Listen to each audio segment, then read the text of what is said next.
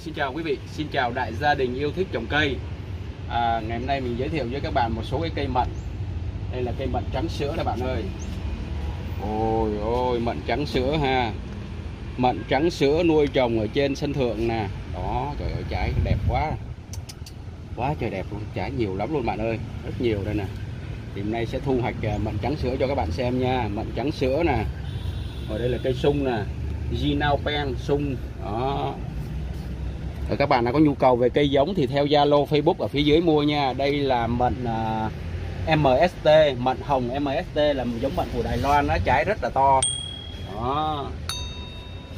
Đây. Đây bạn ơi cây giống đây. Cây giống mận xanh tam hoa. Đó có trái luôn nè. Đó rất là đẹp luôn. Đây bạn ơi. Rồi. Sát đây là con ơi. Ui rồi ôi mận uh, hoàng yến này bạn. Đó mận hoàng yến này quá trời đẹp ha.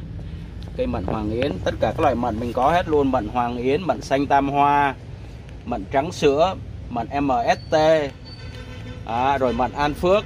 Các bạn nào có nhu cầu thì theo zalo facebook ở phía dưới mua nha. Đây là ôi rồi ôi bạn ơi xem này. Ôi nó cưng quá là cưng. Cưng ơi là cưng luôn bạn thấy không? Mận tam hoa nè mận xanh tam hoa nè. Đó. Tí nó sẽ test cái trái mận xanh tam hoa cho bạn xem nha quá trời đẹp luôn. Trái quá trời trái luôn nè. Đó đây nữa nè. Trời ơi. Cái cây mấy chút xíu mà đẹp trái quá. Thu hoạch cái mận trắng sữa này mình test cho các bạn xem nha ăn nó ngọt không nha. Đây mận trắng sữa đây. Tức là khi mà cây mận mà nó ra trái nhỏ rồi á thì các bạn à, nên bao bọc lại. Cái này mình mới vừa lấy ra đó để phòng chống các loại à, côn trùng chích hút ruồi vàng. Còn nếu như bạn không bao bọc á, thì khả năng là các bạn thu hoạch trái nó sẽ bị hư hỏng bạn không sử dụng được nha. Bao này lại nè rồi. Cắt mận trắng sữa luôn nè. Đó, đây ha. Để đây nè. Thu hoạch trái cho bạn xem luôn nè. Đó. Trái rất là ngon luôn.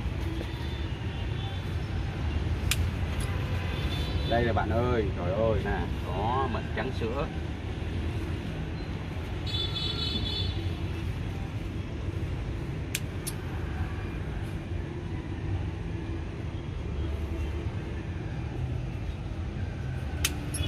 Quá trời.